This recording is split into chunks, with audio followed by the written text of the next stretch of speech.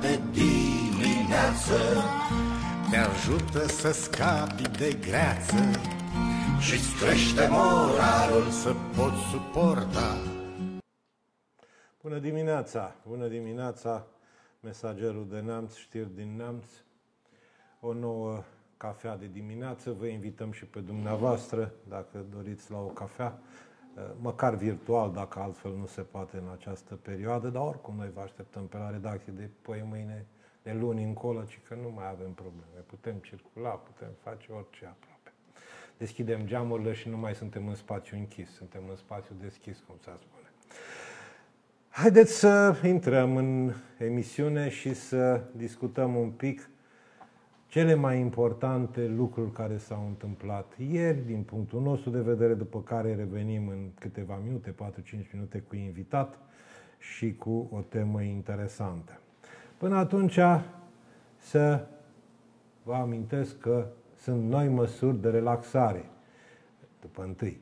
Liber la deplasări în afara localității. Se deschid terasele, plajele și sunt permise spectacole în aer liber până la 500 de persoane pe scaune.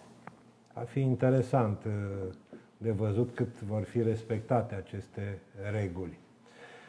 Ce să vă mai spunem? Guvernul, ci că a hotărât ca transportul local să fie gratuit pentru elevi pe tot parcursul anului calendaristic, iar pentru cei care fac naveta pe tot parcursul anului școlar.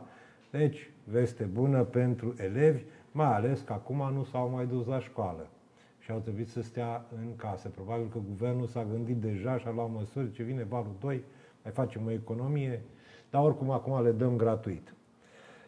Da, în rest, gafa zilei de ieri, gafa zilei de ieri, s-a întâmplat la Turda. Autoritățile au confundat monumentele și au erogiat pe eroii ruși, nu pe eroii români, ceea ce până la urmă poate fi și o previziune despre viitor. Dacă lucrurile mai merg așa, probabil că vom începe autobiografiile când o să le scriem, că dacă vin ei, iarăși începem cu autobiografii. De mic copil mi-a plăcut vodka și cazaciocu sau de mic copil mi-a plăcut orezul, dacă se aliază și cu prietenii chinezi. Una peste alta să facem legătura spre tema emisiunii de astăzi, adică antreprenor, antreprenori la vreme de criză și să vă dau un citat de la care vom putea pleca în discuție. Un patron de berărie spune pentru un ziar central că lumea va fi la fel așa cum apa este udă. Fiind patron de berărie, înțelegem perfect de ce vorbește despre apă.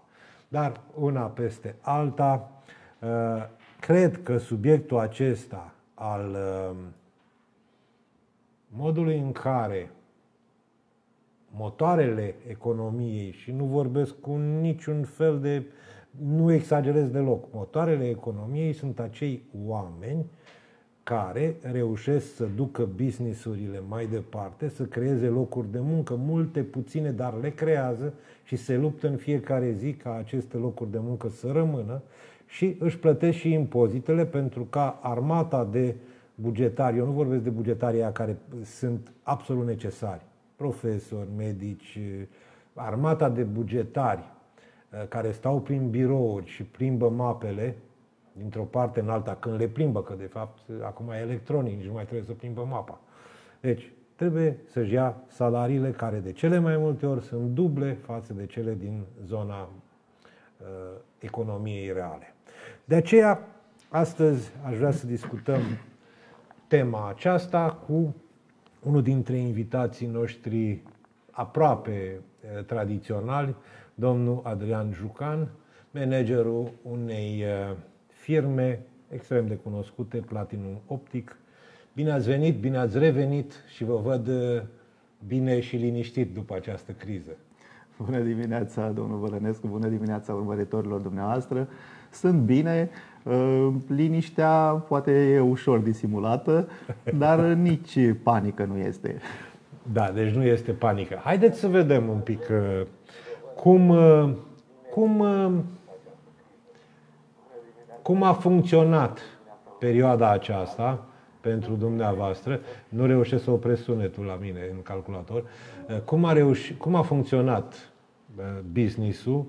Cum ați previzionat lucrurile? Cum ați fost ajutat să le previzionați de către autorități? Și dacă vi se pare interesant ce spunea patronul de berărie, că totul va fi la fel, așa cum apa este udă. Da, cred că am să revin asupra ideii acesteia spre sfârșit. Vă rog. Uh, afacerile pe care le conduc grupul de firme Platinum uh, s-au comportat, cred că, asemănător uh, multor alte companii din alte domenii. În sensul că undeva în jurul datei de 20 martie am închis total toate cabinetele de optică și de consultații până spre jumătatea lunii mai. Deci a fost o perioadă de venituri zero. Ceea ce pentru uh, companii e ca și cum ai rămâne fără aer. A, deci cam asta este. Ca și cum ai fi pus pe un pat de ATI și nu funcționează masca de oxigen sau cum se cheamă. Și toată perioada aia uh, și acum nu pot să zic că s-a schimbat foarte mult, dar totuși s-a mai schimbat, s-au mai schimbat câteva lucruri. Uh, toată perioada respectivă de început, ce uh, făceam o strategie dimineața, seara era uh, deja modificată, peste trei zile nu mai țineam cont de ea. Din cauza dumneavoastră? Din cauza cum adică, se desfășurau evenimentele. Am înțeles. Deci, Hai, dacă, de exemplu, dacă pe 20 martie să spunem, am previzionat că deja că s-ar putea, nu, noi n-am fost un domeniu optica medicală, consultațiile oftalmologice, n-au fost un domeniu care să fie obligat să închidă. Uh, ca așa cum au fost uh, Horeca, de exemplu, sau uh, molurile. Dacă pe 20 martie ne făceam un plan că vom deschide timp parțial, pe 22 martie, nu, asta undeva pe, cam pe 15 martie, vom deschide parțial, cam 5-6 ore pe zi. Pe 18 vom deschide de două ori pe săptămână pe 20 închidem de tot. și decizia a fost o decizie pe care am luat-o, încă o dată, nu am fost obligat să închidem, dar a fost o decizie, am considerat-o responsabilă în momentul respectiv pentru protecția atât a uh, Personal. personalului, cât și pentru a nu ne transforma noi într-un eventual focar. Asta a fost uh, o chestiune importantă, pentru că eu am discutat cu oamenii mei din firmă, ei erau dispuși, respectând niște condiții, să vină în continuare, nu aveau o frică de să foarte mare, dar posibilitatea de a ne transforma noi într-un uh, uh, transmițător, într-un vehicul pentru acest virus, am zis că nu, ok, închidem. Închidem cât va fi nevoie și reluăm după aia. Bun, acum cum, cum sunteți? Acum în suntem, uh, suntem uh, deschiși și funcționăm în program uh, aproape normal, ca să zic cem așa, aproape normal, nu mai e nimic cum era, dacă, dacă ce era am putea defini ca fiind normal, cu niște reguli atât interne cât și în ceea ce privește relațiile cu publicul, ca și reguli interne, funcționăm în continuare cu jumătate din personal, în sens cu jumătate de normă fiecare pentru a nu se intersecta tot personalul odată, tocmai în ideea unei eventuale anchete epidemiologice, în cazul în care, Doamne ferește, un pacient al nostru va fi depistat ca fiind uh, purtător uh, COVID sau un uh, angajat, un coleg din firmă, să nu trebuiască să închidem tot punctul de lucru și să intre toată lumea în izolare, va intra doar partea care a fost în momentul respectiv activă. Uh, sperăm ca undeva într-o lună, jumătate, două să uh, revenim uh, într-o oarecare normalitate. Până atunci, suntem toți împreună, toată echipa. Asta a fost mesajul de la început. Vom trece cu toții peste toată perioada asta. Bun. Cum ați simțit ca antreprenor măsurile venite dinspre autorități? Adică, de exemplu, sunt unii care spun, domne, da, a fost uh, ok, mi-am trimis salariații în șomaj tehnic, uh, mi-am mai făcut curat prin uh, spații, prin asta, zice, a fost ok. Alții spun, nu, domne, zice, uite ce am pățit eu, zice. Am încercat să-mi țin afacerea, salariații mi-am păstrat, acum i-am trimis cu totul acasă, că nu mai aveam cum. Deci nu avea rost să-i mai trimit în șomaș tehnic. Adică ați simțit sprijin sau pur și simplu ați zis, ca de obicei aproape în România, mă duc pe drumul meu înainte și îmi iau eu măsurile care cred. De obicei, atunci când mă raportez la autorități, eu sunt genul, am filozofia mea în care nici nu aștept ajutor, nici nu mă plâng. În sensul că iau o situație așa cum este și încerc să mă adaptez ei. E adevărat că sunt momente în care te frustrezi. Deci te frustrezi. Prima, prima dată când s-a pus problema șomajului tehnic, de exemplu, în ordonanța respectivă era o mențiune de genul companiile sau firmele care nu își permit să plătească salariile pot să beneficieze de ajutor pentru șomajul tehnic al angajaților. Care era o, o mențiune care cum adică firmele care nu-și permit? Adică ce înseamnă că nu-și permit? Adică dacă au bani în cont, pentru că asta este logica, până la urmă o companie sănătoasă trebuie să aibă bani în cont, că de aia a făcut până atunci activitatea. Deci eu, grupul de firme Platinum, dacă noi avem bani în cont, deci avem de unde să plătim salariații, dar îi trimitem acasă. Noi nu putem beneficia de ajutor de șomaj tehnic, dar o companie care abia se târie, care abia s-a târâit până acum și își trimite și ea angajații acasă, ea poate beneficia. Deci cel care n-a făcut profit până acum poate beneficia, iar eu care am făcut profit până acum și am lichidități, eu nu pot beneficia. S-a scos în, între timp măsura aia, dar câteva zile cât a fost păstrată, nu înțelegeam. Mai este o problemă. Când vezi așa ceva, într-un act normativ, îți pui întrebarea.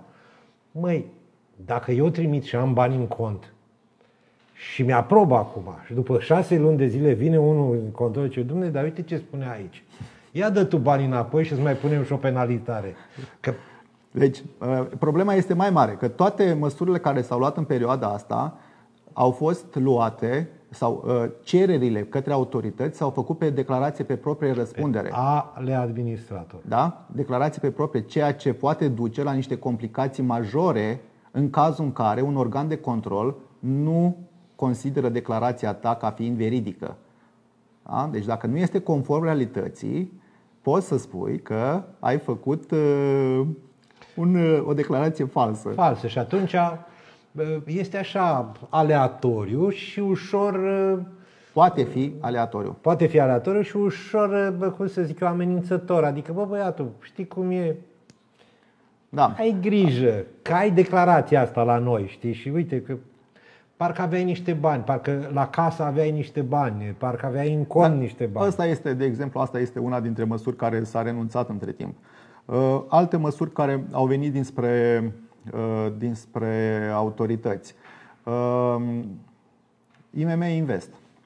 Așa. Apropo, v-a interesat IMM Invest? Da, în primă fază da, după care am renunțat, după care revin. În sensul că Chiar mă interesează și pe mine să văd argumentele. Ca același lucru am, am, vrut, am vrut să fac și eu.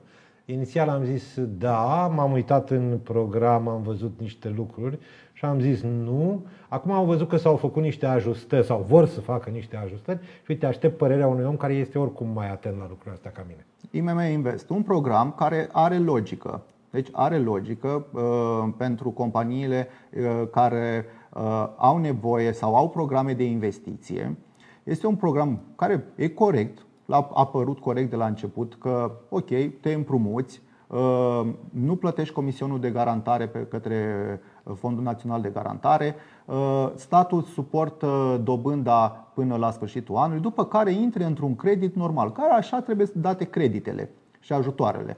Doar că erau acolo niște mici chestii. Una dintre chestiunile foarte importante era ipotecă pe universalitatea bunurilor prezente și viitoare. viitoare.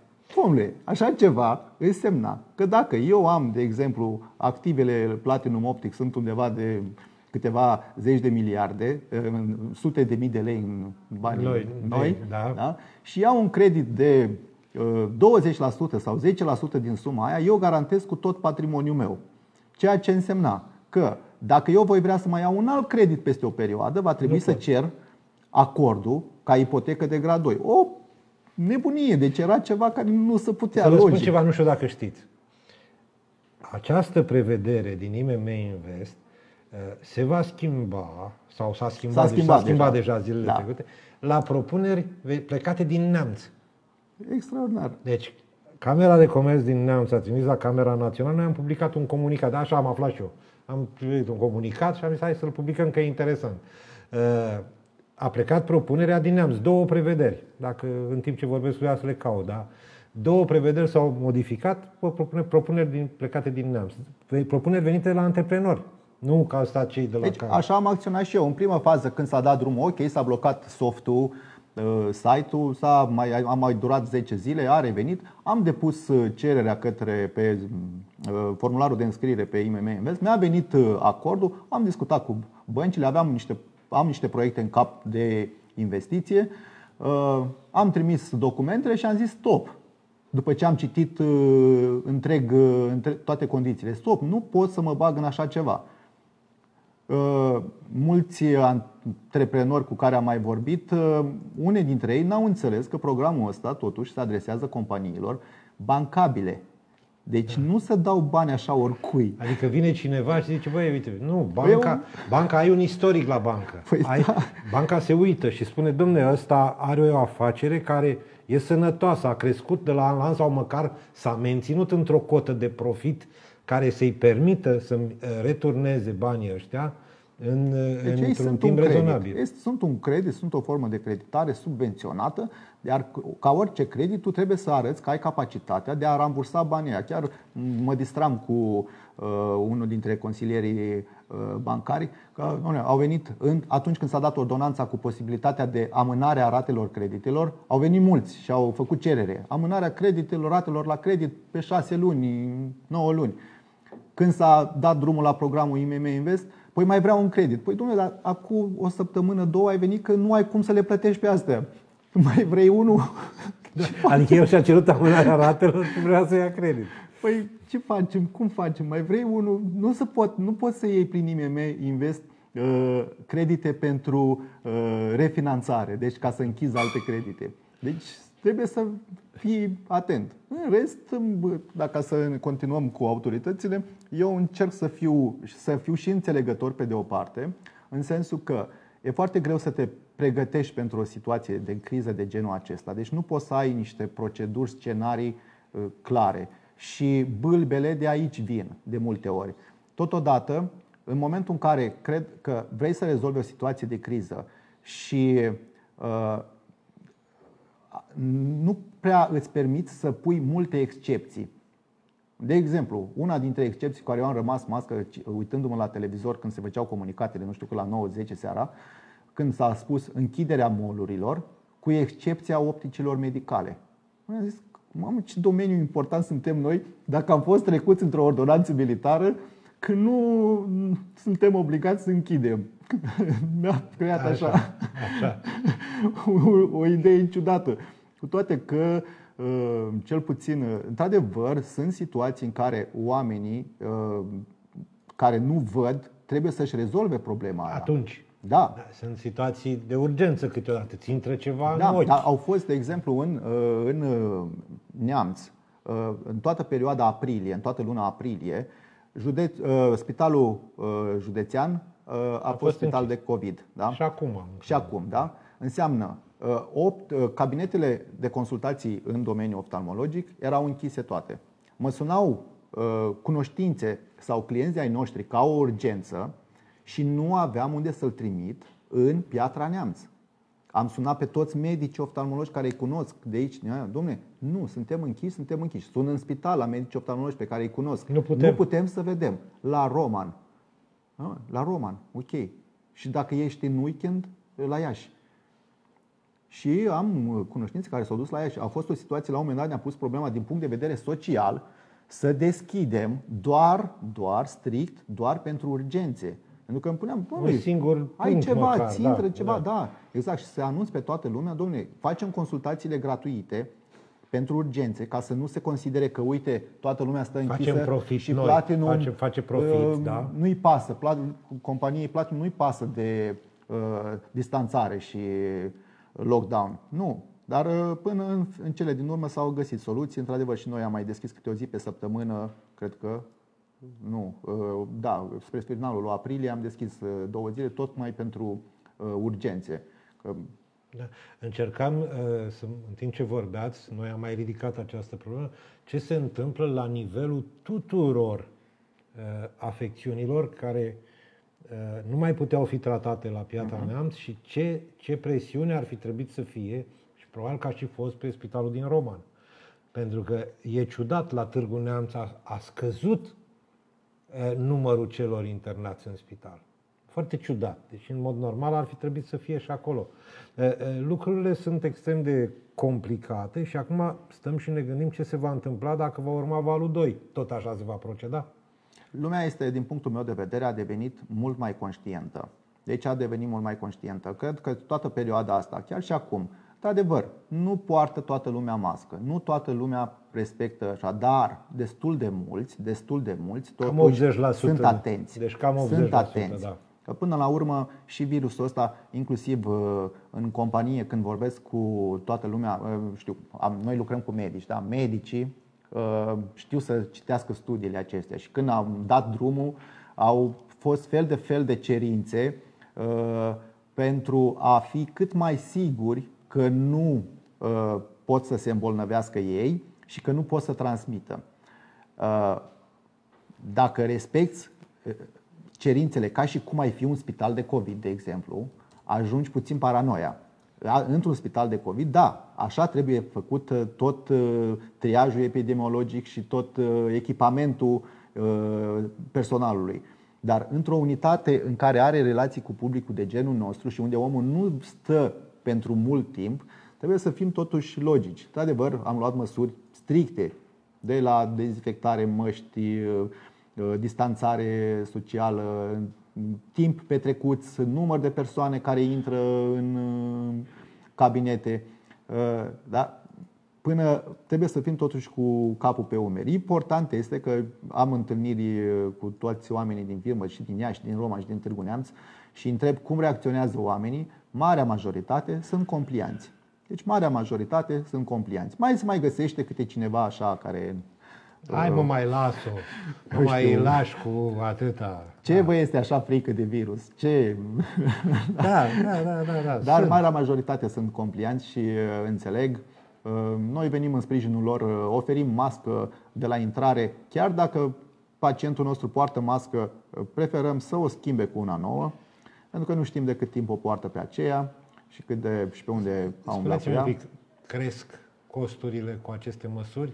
Deci, costurile cresc pe de o parte, veniturile scad pe cealaltă A, parte. Bine, asta este în clar. ce sens? În ce sens? Deci costurile cresc pentru că ai costuri suplimentare, orice mască Uh, mască sau mănuși, mănuși. dezinfectanți da. Uh, și costă dezinfectanții, să mai ales dacă vrei să iei cu cei care îți protejează pielea, sunt, sunt chiar scumpi. Nu mai spunem de dezinfectanții din uh, cabinet, care da. oricum făceai înainte, dar acum faci mai mult. Acum faci după fiecare pacient. Da. Dacă atunci făceai înainte de începerea consultațiilor Uh, dezinfectai doar părțile care intrau într-un contact foarte apropiat cu zona feței. Exact. De exemplu, la aparatul la biomicroscop, omul pune fruntea pe o, un suport și dezinfectai suportul. Acum dezinfectezi tot aparatul roat uh, cap-coadă cu mânere de la scaun, cu... Tot, absolut tot. Da, da. Asta e. Și pe de altă parte, spuneam, scad veniturile. În ce sens? Că dacă înainte puteai să pui o consultație cam la 20 de minute, acum, acum trebuie să o lași minim 30.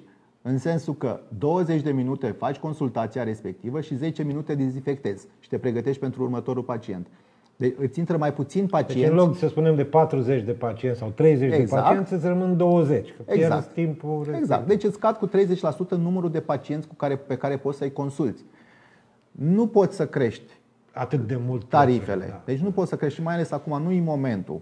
Știți, eu am avut o mare bucurie după a început criza și am făcut o emisiune cu simpaticul dumneavoastră medic, domnul Valeriu Coșnir, care e și pe lângă că e un medic foarte bun, e și foarte simpatic.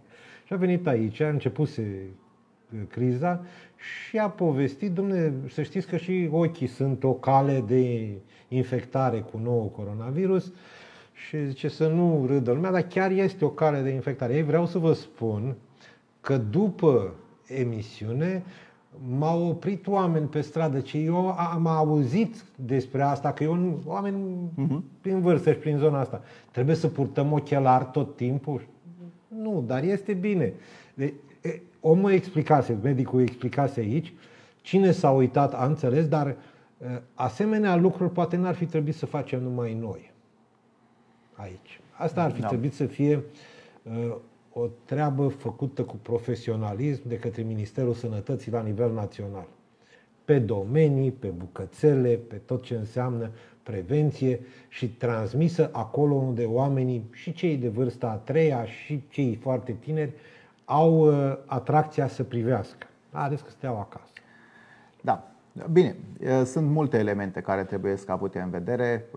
Încă o dată, din punctul meu de vedere, autoritățile nu au făcut ce, ce au putut, nu pot să fiu întru totul critic, puteau să fie, putea să fie mai bine. De cele mai multe ori când ai o rațiune, când te gândești cum putea să se facă, tu gândești post factum și atunci da, ei, e ei trebuiau să acționeze atunci, în funcție de loc. niște informații care nu sunt publice de multe ori. Exact, exact. Da. Și poate unele, eu am, am avut încredere în sensul că dacă ni s-a zis să stăm acasă, vă stăm acasă. Chiar dacă în mintea mea aveam fel de fel de scenarii, că nu e așa de grav, că, sau că, eu știu, dacă ne protejăm, nu. Domnule, au zis autoritățile, stăm acasă, stăm acasă. Că Bun. au dreptate sau nu au dreptate, o să vedem. Dar deocamdată, dacă nu participăm într-un fel, uh, nu. Trebuie nu, să existe o regulă. Trebuie să fie. Trebuie să fie o regulă. Dar regula trebuie să fie nu numai pentru noi, ci Aici și pentru autorități. Problemă. Pentru Aici că eu am înțeles, a venit pandemia, ne-a luat prin surprindere, deși în mod normal n-ar fi trebuit să ne ia prin surprindere. Pentru că deja se știa ce se întâmplă da, în China este. și într-o lume globalizată lucrurile astea nu le mai ții sub control. Aveți mare dreptate aici. Bun, ne-a luat prin surprindere. Ne-a luat prin surprindere prima săptămână. Ne-a luat a doua săptămână, a treia săptămână. Dar de acolo încolo lucrurile ar fi trebuit deja să intre într-un normal al unui scenariu de criză care el trebuia să existe în șapte variante cu tremur, nu știu ce, nenorocire, pandemie, epidemie, nu mai știu ce, epizootie, mă rog, ce mai fi.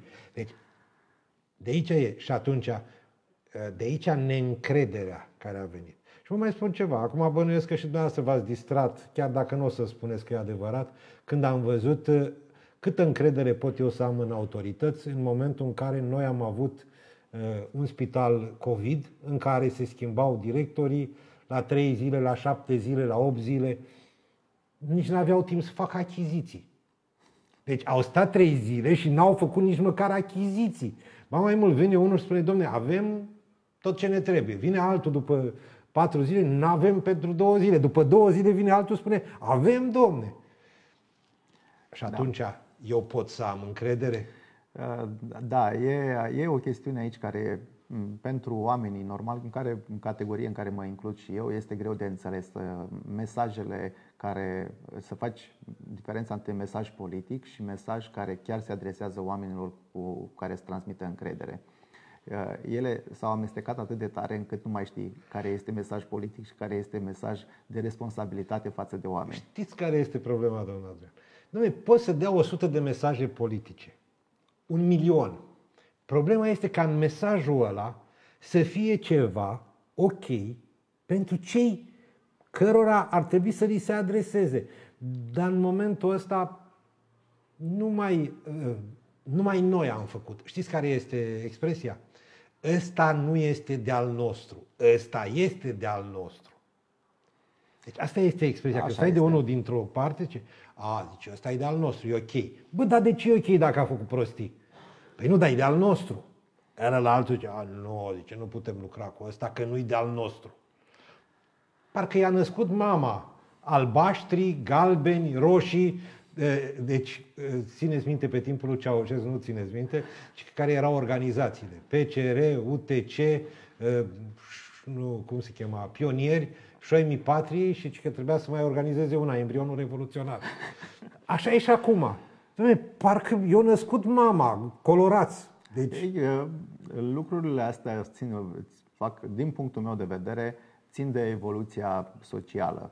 Și de educație. Și de, și de educație. Este o temă care, despre care tot vorbim, tot timpul apare în toate discursurile, fie a celor uh, academice, fie politice, fie în toate cercurile. Dacă ar avea educație, dar ceva, un plan concret și o asumare pe termen avem. lung, pe termen lung, că e foarte N-avem important, nimic. educația nu se face într-un an, doi și uh, Parcă mi- mi se pare că Ministerul Educației era chiar unul dintre ministerele unde s-au perindat cei mai mulți miniștri, dacă nu cumva. Nu, parcă nu avusese niciunul un mandat mai mult de un an în medie. E, Cei mai mulți miniștri au fost la Ministerul Educației. De ce? Pentru că toată lumea se pricepe la educație, fotbal da. și mai nou la condus Deci, spitale. așa, așa este, ne pricepem cu toții la fiecare în dreptul lui, dar nu că în dreptul lui, fiecare ne pricepem la niște domenii de astea generaliste. Când este vorba să acționezi și să pui în practică, trebuie niște oameni profesioniști, nu, merg, nu merge cu păreri. Și e important ca să avem partea aia de asumare și responsabilitate. Dom'le, asumare și responsabilitate. Dacă se va face asta, dacă se va reuși asta, da. dar pentru că probabil că ne apropiem de final, am să Revenim la apă și la bere. revenim la apă și la bere. Și după aceea vreau eu să mai spun apropo de ceva, dar vă las cu apa și berea. Și după cu aceea... apa și cu berea, asta e. Și eu, într-adevăr, în, la începutul um, izolării, ca să o numesc așa, că în perioada respectivă, când stăteam acasă, mă gândeam că, bă, sigur, perioada asta va fi așa, o, un fel de uh, revoluție a gândirii pentru mulți. Își vor da seama că lucrurile importante sunt cu totul altele decât uh, pentru Deci ce... vom reveni Da. la lectură, vom Da, reveni la da, lucruri da, da. profunde, Exact, vom sta cu familia. familia, vom uh, vă intra, Da. vom discuta. După aia uh, am revenit și am zis că memoria, memoria este de noastră colectivă, este de scurtă durată și apa va rămâne tot udă. și vom reveni la aceleași, uh, același comportament într-o perioadă destul de scurtă și nu se vor face schimbări majore. Din păcate, Din păcate. din păcate. Uh, Eu uh, vă mulțumesc pentru participarea la emisiune, că ceea ce vreau eu să spun acum nu vreau să se refere și la dumneavoastră. Uh, Vă mulțumesc, Mulțumesc pentru și eu. participarea la emisiune și vă mai invităm pentru că asemenea discuții sunt extrem de importante, poate nu pe moment, dar ele rămân și fiecare extrage din ele adevărul său. Eu, oameni buni, pe finalul emisiunii vreau să vă spun un lucru. În perioada pandemiei, în Neamț, au fost câteva inițiative private, oameni extrem de serioși, cu business-uri serioase în spate, cu, care au acționat uh, pentru limitarea efectelor și ajutorarea spitalului, categoriilor defavorizate, etc. Au făcut și achiziții de măști, combinezoane și au dat la spital. Ce am aflat noi după? Dom'le, nu se găsesc hârtiile, contractele. S-au găsit contracte, nu se mai dă de urma măștilor. Adică unde au intrat, unde s-au dus, etc.